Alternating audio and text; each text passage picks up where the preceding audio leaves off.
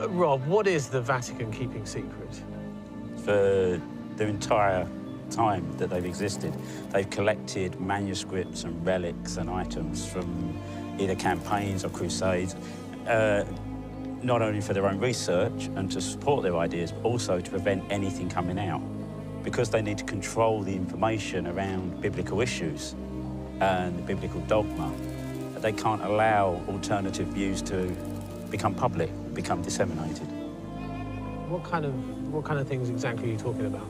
In terms of documentation, they've got 52 miles of shelving of books and manuscripts alone. So that will be everything from early first century fragments to entire, potentially entire alternative gospels. And why would that be damaging to the Catholic Church?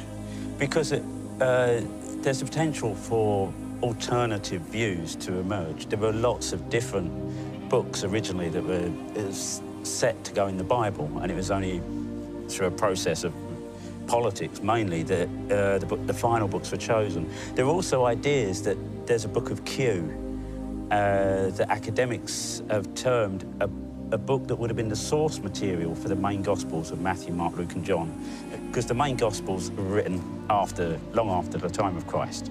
So if they've got something like a book of Q, that would undermine everything else.